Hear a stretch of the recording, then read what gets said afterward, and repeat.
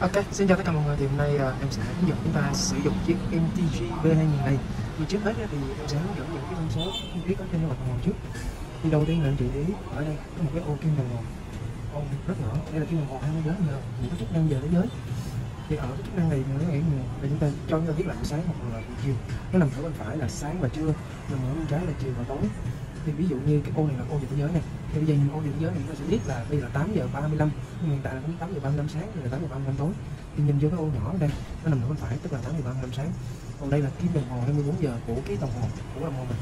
Tức là bây giờ là hiện tại là 2 giờ 35 thì hiện tại mình cũng thì cái ô này nó cho biết là bây, bây, bây giờ là 2 giờ 35 chiều chứ không phải là 2 giờ 35 sáng.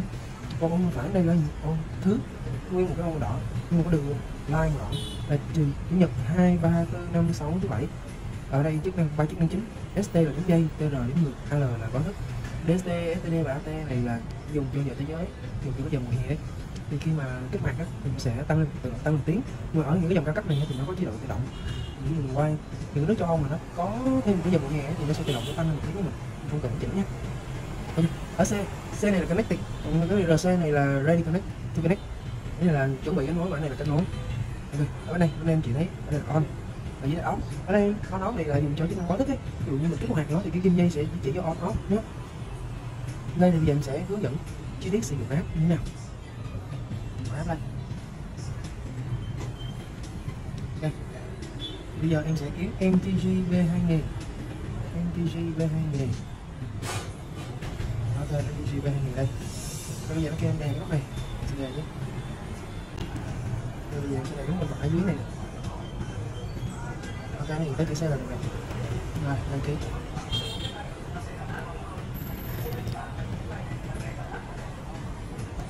Rồi, đăng ký thành công rồi. Okay. đầu tiên thì à, cái này là nếu cái nó thành công á, thì cái này sẽ hiển thị mất pin. Là mất pin chúng ta là trung bình watch self check, có nghĩa là nó sẽ kiểm tra coi là cái đồng hồ này hiện tại đã giờ chưa. Này kiểm tra ba cái chức năng. Hand movement có nghĩa là nó sẽ chạy kim nó sẽ kiểm tra coi máy móc hoạt động tốt không? Mẫu này là kiểm tra pin coi là có bị chai chưa? Và tám chất người có nghĩa là nó sẽ kiểm tra coi là đã được một giờ chưa? Sắp xem check. Okay. đây thì uh, đây là một chức năng khác đặc biệt của MTGT 2000 ở chức năng này thì nó sẽ uh, kiểm tra ba ba chức năng như nãy em có nói. Có nghĩa là nó sẽ kiểm tra xem là ba chức năng này có hoạt động hay không. Rồi. Đó bây giờ em sẽ kích hoạt thử này. Rồi sau khi mà em start xong thì nó sẽ kiểm tra bài này hiện tại bài này ổn đang mới mà. Thì tiếp thế uh, hiện tại đây là ô ô giờ thế giới này. Hiện tại chúng ta đang nhận năm một sao như là giờ thế giới. Thì bây giờ em sẽ kiểm thử nha ờ, nếu mà anh chị muốn xài trên đây thì ờ, có để lựa trên bản đồ luôn. Thì chọn lại Sophia đi. Rồi. Dạ, anh chị để cái ô giờ thế giới này nhé. Sẽ hơi mất thời gian vài giây vài giây. Rồi. Đó. Thì bây giờ nó lên một tiếng. Anh chị thấy cái kim này nó chạy lên chín giờ 38 chưa và hiện tại là vẫn là chín giờ 38 sáng. Có ví dụ như mà chị muốn mà đổi ờ, hai múi giờ lại với nhau. Như thế này. Muốn đổi giờ ô gì hành thành ô gì thế giới ô gì thế giới ô gì hành như thế này nó thấy như này. Đấy, bây giờ cái này sẽ là con người sẽ chín 9 giờ 38 còn có một thao nó sẽ vào hai giờ 39 nó tắt thử cho mình người thôi. Giờ về cũ nhất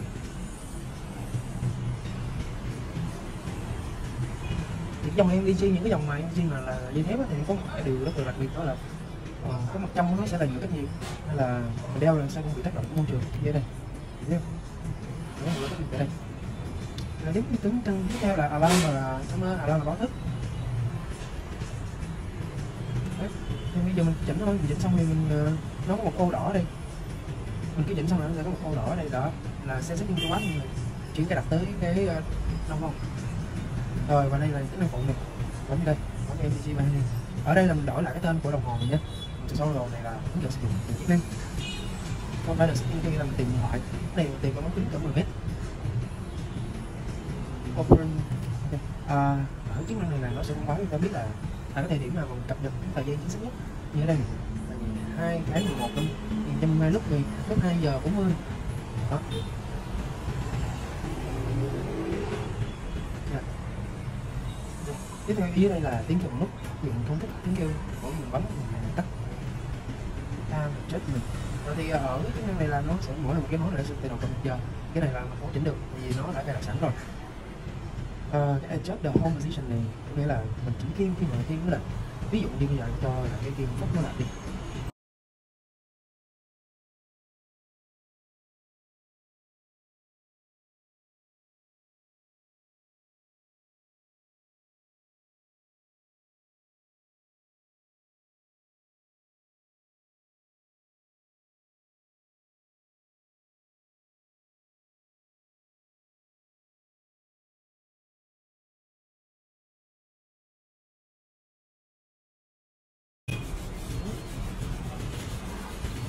Về chỉnh lâu á, thì nghe nó bị sách luôn rồi.